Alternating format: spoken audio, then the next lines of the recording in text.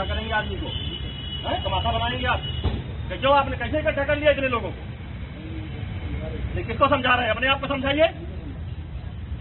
आपने पुलिस को बता फिर वही बात। आप क्या कैसे समझाओगे? क्या बता रहे हो? तमाशा बना के बता रहे हो आप? मीडिया से हो।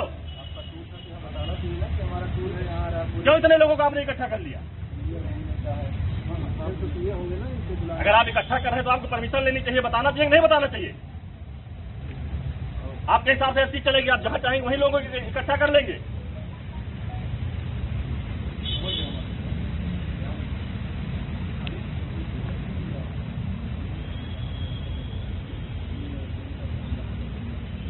अब क्या करोगे? अब तो आप किसी से बात कर लो। जो तमाशा करना था वो तो आपने कर दिया सुबह सुबह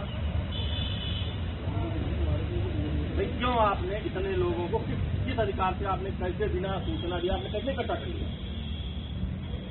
यहाँ आवाज़ निकालने गाड़ी को हैं?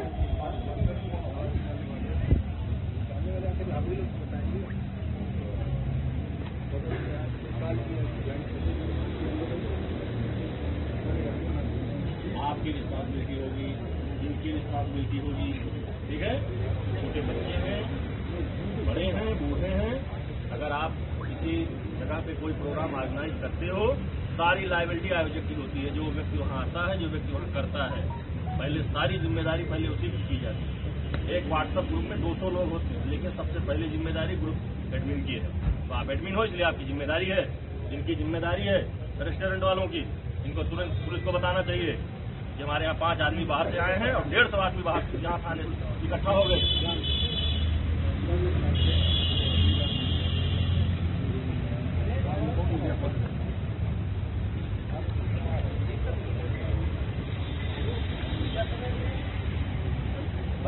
बड़े हो।